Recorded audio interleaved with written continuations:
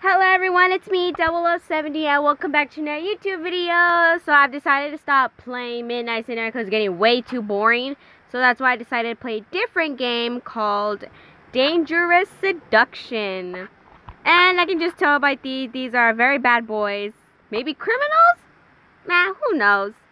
So let's just get right into it. Whee! Sorry. Stop getting distracted, girl, okay? Jesus. Let's see. Continue. Wait, what the heck? What the heck? No, thank you. I don't want any of those ads. I have no idea why it says continue the ad, but let's do the prologue. Well, I don't know what the heck that says. I'm just to ignore it. Dad, Mom, I'm here. I place my hands together in front of the graves where my mother and father are resting. I'm a little lonely, but I'm doing alright. I miss you so much. Today's a special day for me, so watch over me up there with Mom. Okay, Dad? Aww, her parents died. Today I'm covering a fancy restaurant in Ikebukuro, my first assignment as a freelance journalist. I had always looked up to my journalist father, so I naturally followed in his footsteps as a writer. I had to overcome a lot, but today I'm finally standing at the start line of my journey. Damn it, I can't say things right today. Ah! While I'm waiting for the light to change, one of the big screens on a tall building begins to play the news.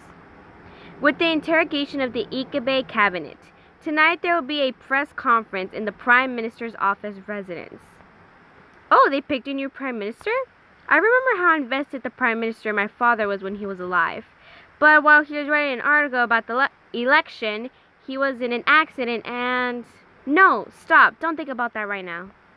As though to distract me, the newscaster shifts to the next story.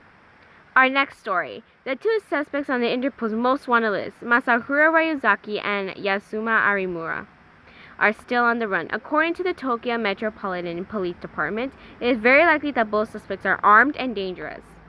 I wonder what they've done. The news never said.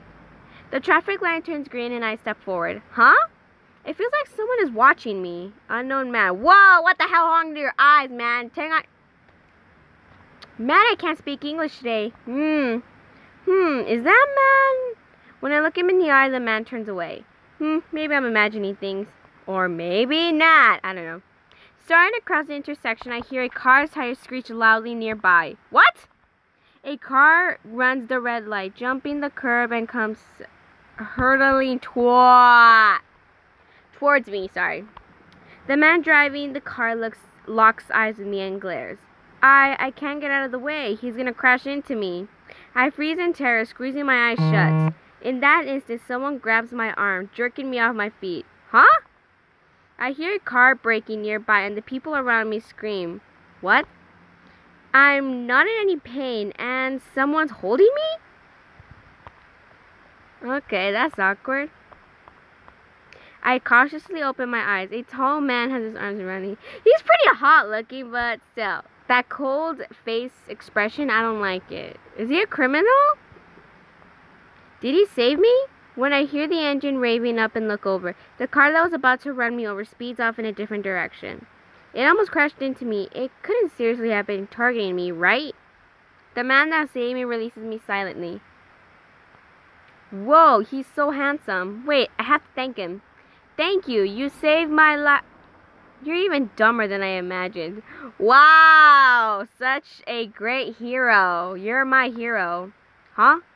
And to top it off, you have zero talent at handling dangerous situations. This is going to be difficult. What? Um, what are you... What? He pinches my cheek with his long fingers. Well, what are you doing? If you keep making that stupid face, you'll be dead in no time. Huh? He looks down at me with cold eyes, and I feel a shiver run down my spine. Hmm. He narrows his eyes, giving me a snide grin, and releases my cheek. Ow! What are you doing? I don't even know you. We'll just see how that long and high and mighty attitude of yours lasts. Huh? As he says this, he points his long fingers at me like he's holding up a, a gun. Sorry. Remember this.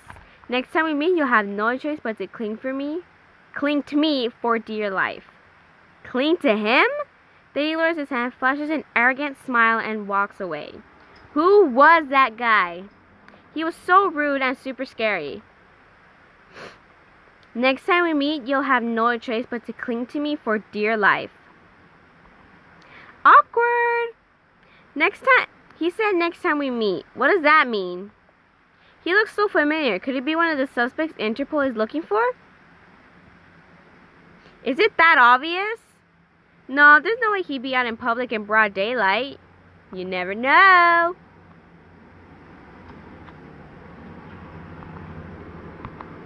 The sun's already set by the time I finish my interview and I bow deeply to the manager of the restaurant. Thank you for your time today. No, thank you for the lovely conversation. Oops. Oops. Oopsie. No, thank you for the lovely conversation. I'm looking forward to reading your article. Thank you. I leave the restaurant and step into the glass-walled elevator. The lights of the Tokyo are glittering all around me. I'm I'm glad my first interview was a success. I press the button to close the doors when a man slips inside. He's pretty cute. I can't help but og at the quiet hot at the quiet hot man. What are you looking at? The next thing I knew, the man's glaring at me. Ah! I was totally grinning at him. How embarrassing. I frantically tried to make a conversation to make things less awkward. Which floor? The first floor. I pressed the button to the first for the first floor the elevator slowly slides closed. We descended for a second when all of a sudden the elevator jerks to a stop. Huh? The elevator stopped. Get down. What? The man wraps his arms around me and pulls me down to the floor beneath him. Why? Bang! Oh, dude, are they shooting at us? What the hell? Eek! When I glance over, I notice tiny holes and cracks in the glass wall. What the hell is going on? Bang! Bang! What? Someone shooting at us? In Japan? The man releases me and still lying on the floor, opens up a laptop and starts to type away. What are you doing? Making the elevator take us to the first floor. If we stay, just, they'll just keep shooting at us. Can you do that? Shut up for a sec, dumbass. Did you just call me a dumbass? Oh, psych, bruh! Clunk. Huh? The elevator started to move again? The elevator suddenly jerks to life again and it takes me surprise and I tumble over it. Thud. Huh? I don't feel any pain at all. Don't fall over so easy. Are your legs just for decoration? Such a pain. Pain? If you're going to complain, at least stand up first. Ah, I'm totally sitting on him. Sorry. I quickly move away from him. Huh, this job's even more bothersome than I thought it'd be. What in the world is going on? Did you really make the elevator move? The man ignores my question and makes a sour expression. I can't believe they shot at me even with you here. They probably don't want to kill you yet, so relax. Um, what are you talking about? He didn't have time to respond. As we reach the first floor, that the elevator door opens. Hey, over here. Oh, okay. I'm still puzzled as he takes my hand and begins to pull me outside. Well, this is awkward. Two men are waiting for us outside. What took you long? You were supposed to meet us here three minutes ago. Is that the guy that saved me earlier? Quit complaining. They started shooting at me even though I had the key with me. How stupid can they be? Good work. You seem to enjoy yourself. I'm glad. He looks like a middle schooler. That's all I'm saying. No offense. Not. This man, who I've never seen before, flashes a breezy smile. Try not to make any careless mistakes from now on. I don't need you to tell me that. We've been planning this for two months. You better try your damn best not to hold me back. What is this talk about plans and meetings? Then it dawns on me. The man that saved me in the elevator also looks like one of the suspects. Could it be... Do they have anything to do with all the crazy things that has been happening today? Hey, you. Y yes? If you don't want to die, follow us. What kind of terrifying line is that? I... I can't. Even if you can't, it would be much wiser for you to follow us. Huh? Let me put it this way. The bad guys are trying to capture you. If they get to you, they're going to kill you, just like they killed your father. Did he just say capture me, but why? And my father was killed? No, no, no, no, no, no way. I refuse to believe these people. So, yeah, let's go. He goes to grab my hand, but I shake it off. Then I spot an unfamiliar object. He, he has a gun? I think back on what I saw on the news this morning. The suspects are armed, and this person has a gun at his waist. N no! I have to escape. I turn around and sprint off as fast as I can. Exactly according to plan, almost alarmingly so. Hey kid, go chase after her. Huh, no need. I'm already one step ahead of her. And what's that supposed to mean? Ha ha. I made it to the police station. Is something the matter? Huh, um... Oh, the most wanted poster. Um, I just saw, I just saw two people that like the guys on this poster. Is that so? When I turn around, I see a well-dressed older man standing there smiling at me. There's something suspicious about him. Why would he be smiling? Oh, Mr. Superintendent, what are you doing here? Oh, nothing. You just say you saw the suspects on this poster, right? Yeah. She's an important witness. Might take her in for questioning? You don't need to do that. You don't need to do that yourself, sir. It's fine. Come get inside the car. Thank you. Thank goodness I'm now that I'm with the police. Are you sure about that? Because I feel something fishy is going on. I get in the back seat with the superintendent. You're Yuri Komori? Uh, why does he know my name? Where's the hidden room? Hidden room? Your father was the key. Now he's dead, and you will be too if you don't answer. Did he just say my father was killed? Wait, did he just threaten me? My father passed away in an accident. Plus, I've never heard about any of this. You must be mistaken. The inspector grins nastily and grabs my wrist. Ow! He tightens his grip on my wrist and I grimace. I don't want to, I don't ha- eh, I don't want to have to be rough. Tell me where it is and you can go free. Wh what the hell is going on? Um, this is a misunderstanding. My father never said anything about this. Really? I have plenty of time. You can tell me all about it. Wait a second. What is all this? Why would the superintendent of the Tokyo Metropolitan Police Force be threatening me? Where is he taking me anyway? I remember what the suspicious man from earlier said. The bad guys are trying to capture you. If they get to you, they're going to kill you, just like they killed your father. Is if that's true, I feel the blood drain from my face. My hand begins to tremble and I squeeze it with my other hand to steady it. Urgh!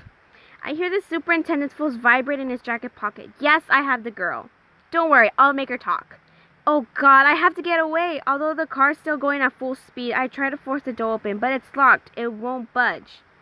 And what do you think you're doing? Even if you get out, the police cars behind us will get you. And if your screams get out, who do you think will believe your word or mine? Well, you already know the answer, so be quiet. Well, if I don't do something, just then I hear a stackety voice over the car's radio. Sir, where are you going with the key? You're going in the opposite direction. What? For a second, a displeased look flickers across the superintendent's face. Hey, you! What? You're going the wrong way. Driver, dot, dot, dot. You, are you even listening to me? Yes, we'll just arrive in a moment. The driver looks at me in the eye and winks. Sorry guys, but I have to end the episode here. So if you guys enjoyed it, please give it a thumbs up, like, and subscribe. And I will see you around. Bye. Peace out. 今日から俺たちが警護もちろん金のため